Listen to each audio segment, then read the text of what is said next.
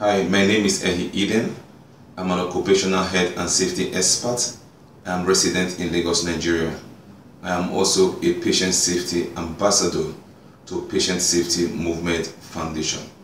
I advocate for both the safety of the patient and the safety of the healthcare workers. When we are able to put the safety of the healthcare workers to the front burner, we will just be on the pathway of achieving a high degree of patient safety. Whatsoever conditions that the healthcare workers are made to work in adversely impact on the well-being and safety of patients.